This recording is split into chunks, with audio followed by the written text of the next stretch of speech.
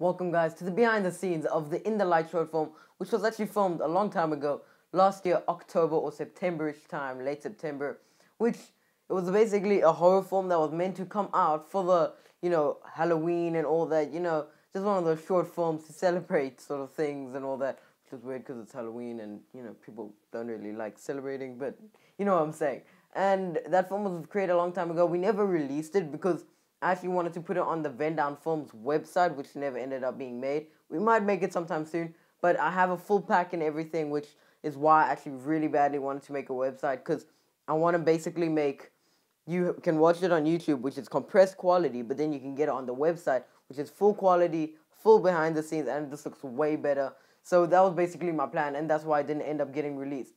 But we have it released now, and you might notice in the behind the scenes of this, which is gonna come up now, which is from onset, you might notice that my voice is like a little bit more squeaky and all those sort of things, and I was also kind of more hyper and all that. But the reason was because it was a long time ago and all that sort of not.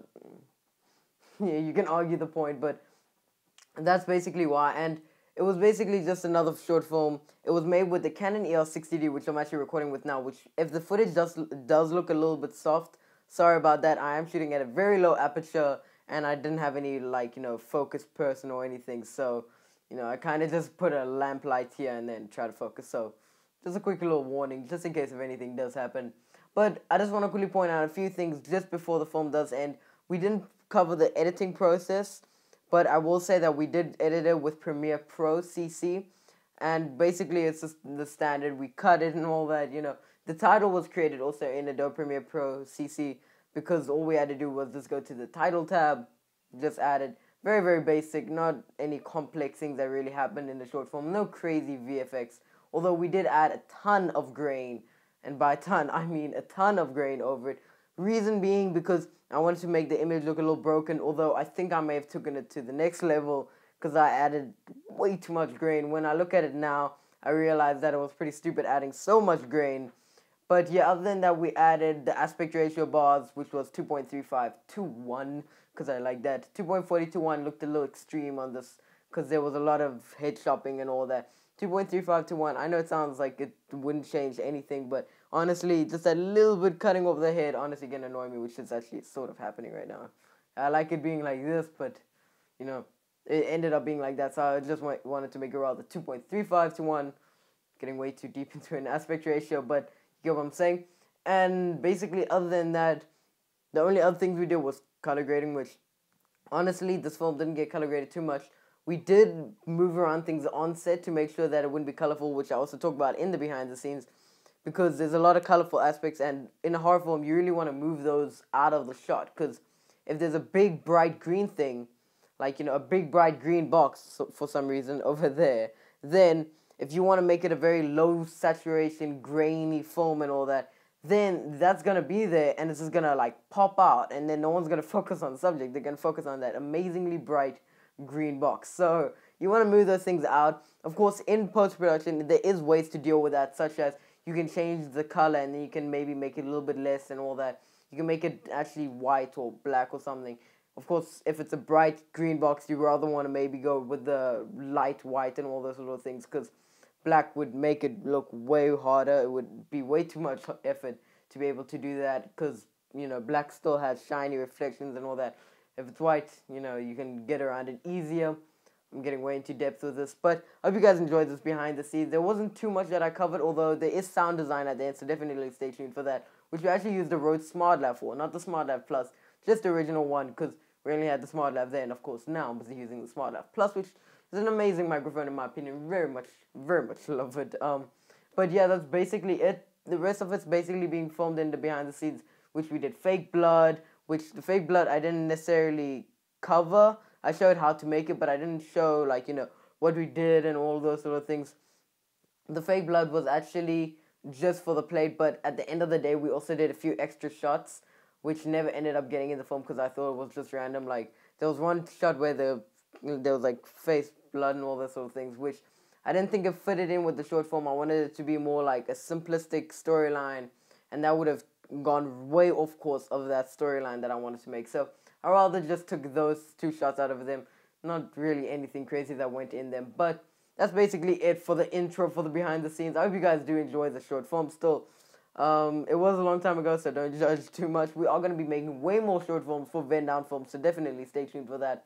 But I'll end the video with the same shot soon, so definitely stay tuned for that. And definitely wait for the sound design at the end. I think it was pretty random of how I did the smart, uh, of how I recorded sound effects with the SmartLav. So if you wonder how I did that, wait till the end. But yeah, so see you guys at the end in a sense, you know, this shot. But I hope you guys enjoyed the behind the scenes and yeah.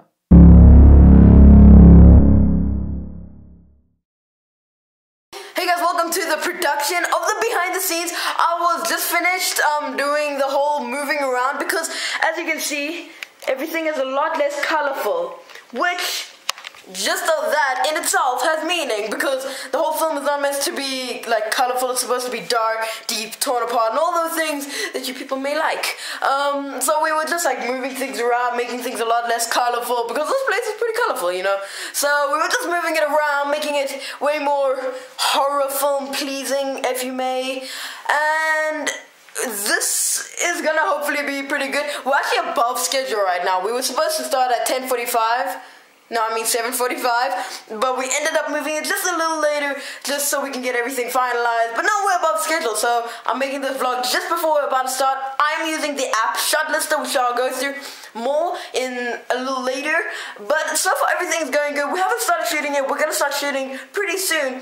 But that is just another thing that I'm just gonna quickly update about. Everything will be more in detail a little down the line.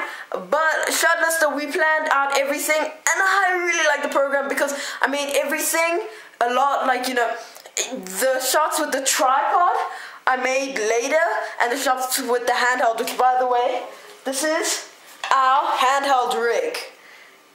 We made it a few days ago. It's it's basically like those cages that you get, which is very nice because now we have a lot more steady footage in handheld. And we usually just shot with a tripod, but now we're shooting handheld so we can get more of a organic, practical feel to the film instead of making it all in post, so that we make the film better at the end of the day. So there'll be more of this stuff later. At the moment, we're gonna just finish off setting up everything, and then we will record and get the film done the camera we are recording with, the Canon EOS 60D, with the little rig, woohoo, and a glass of water. By the way, guys, just saying, you're probably not gonna hear the behind the scenes. This machine is pretty loud, so sorry about that. But we already did a shot with a cool, sexy close-up. As you can see, we have a light there. That light is just a lamp that my dad got. It's an LED lamp. It's actually pretty bright. Let me actually show it to you. It is and it has a bendy leg and everything. And look at how good the footage can look. And it gives that sort of a greenish, like, you know, low CRI um, color rendition index. It gives a low tone, so it gives a kind of grainy look. So it really matches the horror, and this is a horror film, so this will be very helpful. Hey guys, that was day one of our shooting thing. We were actually only gonna shoot for day one. It was gonna be scheduled for about two hours, 25 minutes, around about that long. But we stumbled across a little problem. And by the way, just in case you want to know, this is a 70 to 85 f4 to 5.6 Canon lens. Reason why we changed lenses is because we are still shooting with the 50 millimeter. It's just a 50 millimeter on a crop sensor. This is a 1.6x crop. Makes a 50 millimeter an 85 millimeter because it crops it by 1.6 times. So the, we ended up using this lens for a few of the wider shots, like a super low angle and it's completely wide. It made everything a lot easier. And the problem that we stumbled across was this DIY rig, we can't get the camera off. And my dad is in a different country, so we can't like get him to come here and just take it off like he usually does and we have some tripod shots, so we can't just have, and it's not necessarily tripod shots like, oh, you can just film it like this. We actually need the tripod. Like, if you watch the second episode of Film Shift, then you would see how to make a DIY dolly move in post-production. We're doing dolly moves in post-production in this um, episode, in this film as well. So we kind of have to use the um, tripod or else it looks like a documentary style where the person zooms out with the shakiness. And we don't want that because that ruins the whole cinematic vibe if you got that with that film. Hopefully you did. So that was day one though. Um, we were only going to shoot for one day, as I said, but we also have a shot list, and this shot list helped us a lot. It's made us stay on time.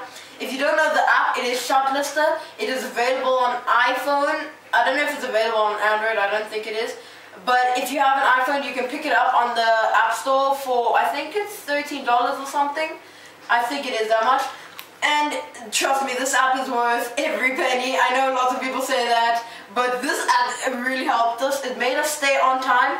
And really, when it comes to a film, if you're gonna do a shot list and you're doing it on paper, truly you're wasting your time. If you're doing a storyboard and you're one of those people that does storyboards, that is fine. But in my opinion, I work better and quicker with a shot list.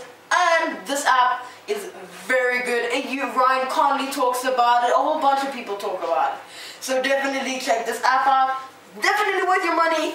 And other than today, we also had to do a continuity check because we weren't planning for another day, but since we are doing another day, I had to check what clothes I'm wearing, where all the furniture is positioned, because we had to move furniture, because everything was just so colorful, as I said in the beginning.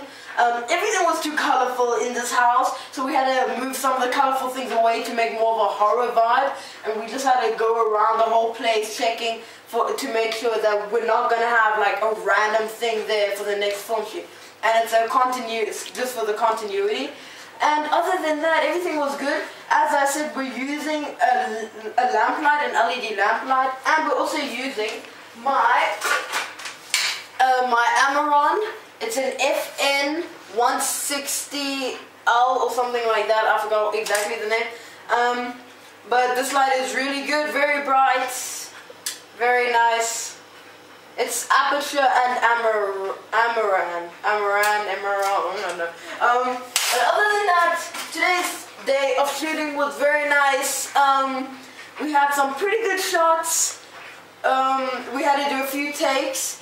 And just to wrap this part up, um, the thing is that some of the takes, like, we, I have another person that is holding the camera, and the thing is that that person, by the way, that's my sister, thanks a lot to her, but um, she's not a filmmaker or anything, she, like, isn't part of that industry, but she was helping me on the shoot, and the thing is that you can't just give a camera to one of your friends and say, okay, just hold the camera and let me do the thing. They need to be a little more experienced. But I couldn't ha have that happening in the shoot, so I was just like, you know, gave her a little introduction and she called along. So that is how that happened. If you are filming with a sibling and they're holding the camera, just keep that in mind. And we're going to have a few more production vlogs with the, um, tomorrow with the tripod shots. But other than that, thanks a lot for watching this production vlog.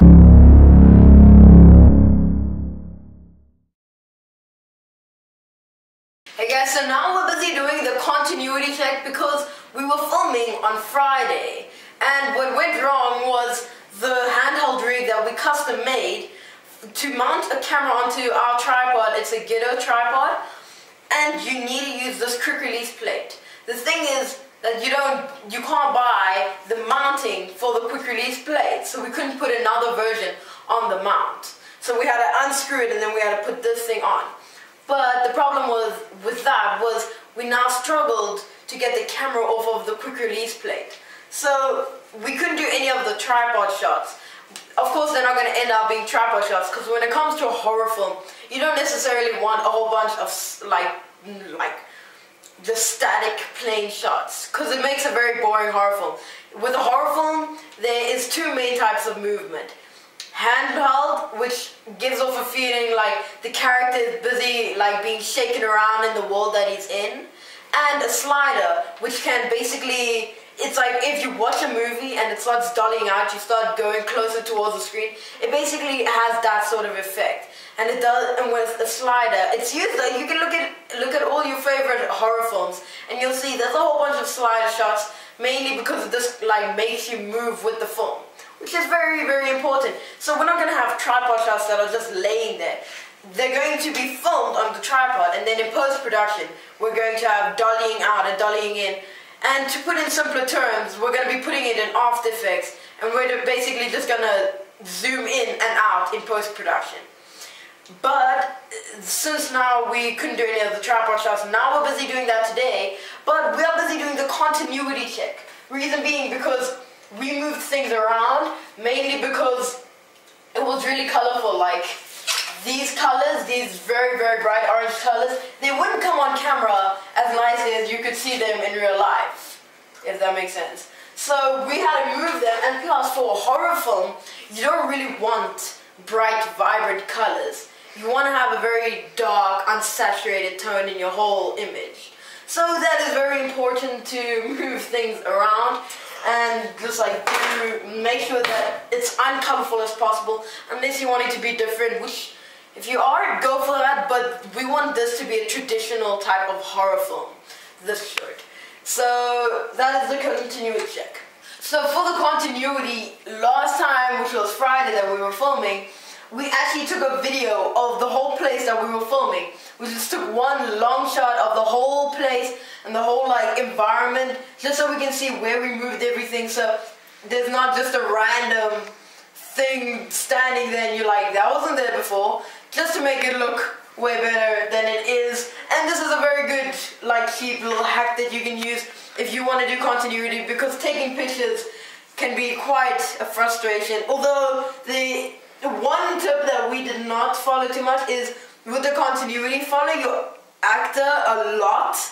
Like, just make sure that the clothing is exact. Because I have two pairs of white pants, and I don't know now which pair I'm, I'm supposed to wear for today. So I'm gonna have to look at that even more carefully. But these problems always come on set. Hey guys, okay, so now we're busy changing our lenses. Of course, doesn't look too pleasing, but we're busy using a hundred millimeter. It's gonna be a face shot. It's where he like he has a face like whoa, what just happened and all that. But the reason why we're using the hundred millimeter far and not the 50 millimeter close is because it's gonna add a shallower depth of field behind him. But not just that, it's because it can convey a different emotion. Of course, I don't want to like say everything just now, like right now, but it's also to do with like, you know, you don't want the whole world to be in with him. He's like, he doesn't have anywhere to go because it makes the whole background seem way further to further away from him. So it feels very far apart from everything. So you can say a word and just changing a simple lens, which is always very important. Hey guys, okay, so now we're busy making some fake blood. Reason is because there's two shots that require blood. It's the anti-plate thingy that has the whole blood drop and all that. You can make whatever you mean of that. And also the last shot where with the gun and all that. I think it would have, I don't know. Um, but yeah, so we're busy making fake blood. What we're using is corn syrup and three food colorings. We're using blue, yellow, and red if you did not see by the colors already. And it's not going to be like a whole cooking lesson, but basically the method of making fake blood, wow, I haven't used this in a while, it's pretty stuck on there. Um, you take your corn syrup. I know corn syrup isn't available in all the, all of the world. You mainly get it in America and Europe. But if you can find it, definitely use it to your advantage. If you don't have um, corn syrup and they don't sell it near you, you can go for you can go for corn starch, but it's gonna be a cooking method instead of just mixing. So it's gonna take a little more effort, but it kind of has the same principle. You mix it in and then you boil it basically. And now all we're doing is we are going to just mix some red in. Whoops. just a little bit. Some yellow.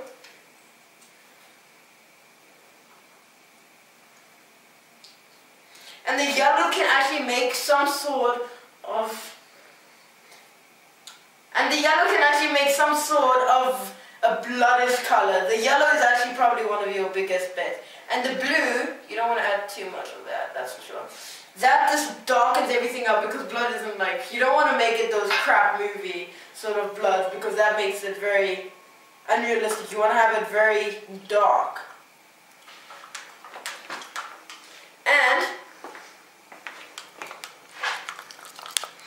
fake blood is made. Of course, it may have a purplish texture. Then you must just work on adding a little bit more of the yellow because the yellowish is caused by the red stuff. And now you'll be good with blood. So now, hopefully this helped you. Hey guys, so with the plate scene, there's a little bit of a big thing. I swear I saw a spider in there and I am not a spider person and that thing is freaking scary. No one has ever touched it. I don't even know what it's there for. And this is all the equipment that we used on set. The Canon 60D, the 17 to 85 f4 to 5.6, Canon 50mm f1.8 Mark II, 100mm f2.8 non-L lens, aka non-L lens just to say, um, some fake blood, an LED light, this is an Amaran 160, it's, yeah, I think it's a 160, a basic little lamp, very, very handy, especially for this horror tone, very much recommend it. Shot Lister, the app, which? Let's do it. And we're done with the entire shoot. And we used the Gitto tripod. And other than that we used of course corn syrup and food coloring. But yeah we don't really need to cover that hopefully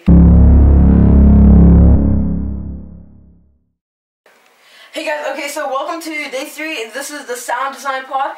And the reason why we're doing sound design is because as you'll notice, you hear knocking in the film. Such as in the scene in the laundry, he goes, you can clearly hear it and it sounds stupid if a sound that you can obviously like see that it would be heard very loud. You can't just cut those sounds out of the film. So we're coming back just to make the sounds because we didn't have the microphone on set because that would because there's no dialogue in the film. So we're gonna rather do this afterwards, and we can't use the on-camera microphone because the on-camera microphone is not gonna be good enough for this. So we basically made our own boom pole, sort of like rig, if you could say. This is the Rode Smart Lav, and basically what we did is we actually took an arrow and because we don't have anything, there's no real boom pole for a smart lav, for a lavalier mic. So we just took an arrow and we took one of the wings and we attached it there. And now you basically can just put it very near it without holding it or anything. Making it sound way more clear. So now all we need to do is just record the knocking sounds. There's two versions of it. One at the beginning of the film where you don't see any knocking so there's no syncing. But we can do that as much as we want. But we also have a phone here just to see the recording so I can see how many knocks there are and like how pitch like you know of course there's a difference between whacking and tapping. So we're just going to like film those sounds and then the sound design because there's no real big sounds in this. So then the sound design will be done and then we can move on to whatever comes next.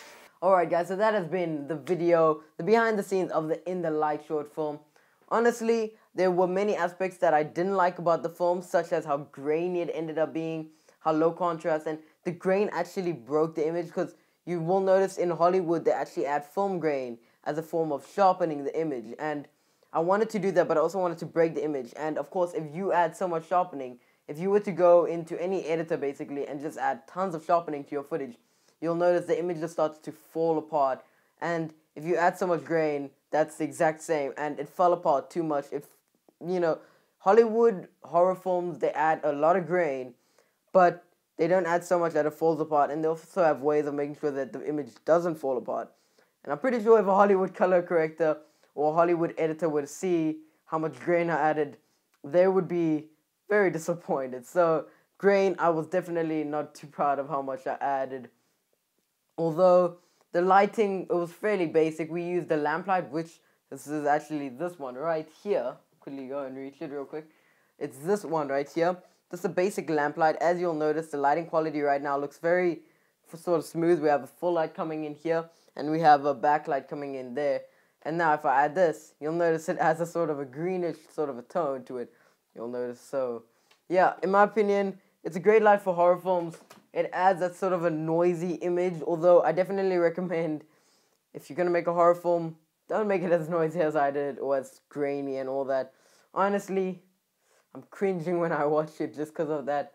But other than that, not much too much, not too much else. There was a little bit of craziness with that spider. It was a big ass spider, like no joke. Yeah. So also, just quick warning. Again, voice was different then, so don't judge and all that. But there will be more short films coming in and Venda on Vendown Films. And editing we didn't cover. Pre-production we did cover sort of. The only pre-production that was used was the Shotlist app which I used on my phone. But now I got an iPad to also use it for. So that's gonna be way more nice because as you guys know, looking at all the shots you have to do on a small little screen, it's way harder than a big screen. So that's definitely gonna be in my filmmaker tool bag in a lot of cases. So yeah, I'm definitely looking forward to the short films. We have way better gear now as well to use for certain things. So I'm definitely looking forward to it. And the Rode Reel will also be coming out very soon. If it's not about the time you're watching this video, which it probably should be. And yeah, if that's basically it, guys. Editing, basically basic and all that. I said it in the video. Just cutting and editing, very basic color correcting, just desaturating the image and all that. Honestly, not much else to it. But that's basically it, guys. As you'll notice, we have the thumbnail of it in the background, which the thumbnail was very simplistic and all that. Just that shot, which in my opinion, that was actually my favorite shot by far out of the whole piece. Just that dollying in and the dollying out, in my opinion, definitely gave a great emotion, in my opinion. That's probably the thing I'm most proud of from the short film. But tell me what was your favorite shot if you have a favorite shot and all that. But other than that, guys, there'll be more films coming in at Vendown Films with more behind the scenes because I really love behind the scenes. That's actually way better than the films usually, in my opinion. So, yeah, um, because if I watch a Hollywood film and I don't like it, usually I'll look at the behind the scenes and I'll say that should have actually been in the theater rather. So that's basically it, guys. I don't want to talk too much. I don't want to get off topic and all that by talking about Hollywood films now and all that. But that was basically it, guys nice short film, sort of filmed last year in October, and I'm sorry for not releasing it then. It just didn't happen with the website and all that, but I will, of course, be uploading it now because it's uploaded now. So, other than that, guys, if you enjoyed this video, comment, rate, and subscribe. And until next time, guys, in the next video.